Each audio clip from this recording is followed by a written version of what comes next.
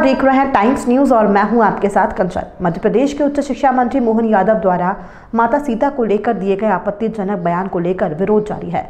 इंदौर में परशुराम सेना द्वारा संभागायुक्त कार्यालय पर विरोध करते हुए प्रधानमंत्री के नाम ज्ञापन सौंपा। जिसमें परशुराम सेना द्वारा मंत्री मोहन यादव को मंत्री पद से हटाने की मांग की है। परशुराम सेना के अनूप शुक्ला ने बताया कि मध्य प्रदेश के उच्च शिक्षा मंत्री मोहन यादव अपने बयान में ये कहा कि सीता माता जब लंका में थी तो विधवा स्वरूप में वो श्री राम से तलाक माना गया है।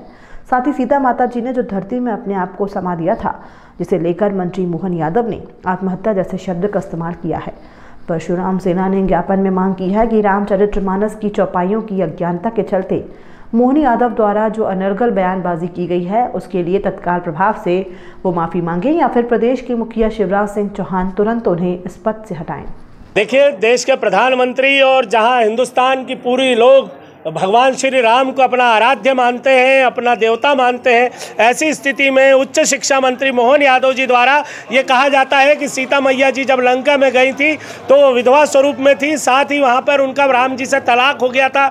उसके बाद उन्होंने जो धरती माता के अंदर समाई माँ सीता, वो उनकी आत्महत्या थी। यह हक किसने दिया उस मोहन यादव जी को कि वो इस तरह के शब्दों का प्रयोग करें? एक तरफ़ रामचरितमानस की पूजा होती, लाखों करोड़ों कर्मकांडी ब्राह्मण अपने उस पाठ को करके, रामायण जी का पाठ करके अपना कर्म चलाते हैं और हिंदुस्तान की जनता भगवान श्री राम और सीता मैया पे जितना विश्वास करती है, पूरा हिंदू धर्म, हिंदू सनातन धर्म जो है, वो भगवान श्री राम और भोलेनाथ और ब्रह्मा जी, विष्णु जी के उस पर चलता है।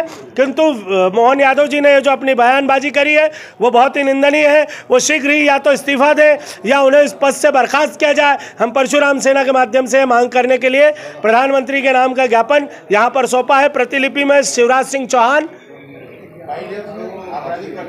शिवराज सिंह चौहान और राज्यपाल के नाम भी इसकी प्रतिलिपि भेजी है। अगर नहीं होता है तो क्या आगे करोगे अगर ये नहीं होता है तो पूरे प्रदेश भर में उनके खिलाफ फिर आंदोलन परशुराम सेना के माध्यम से किया जाएगा। तैतीस ज़िले हैं मध्य प्रदेश में जहाँ पे परशुराम सेना का खुद का अपने संगठन सरवाइव कर रहे हैं।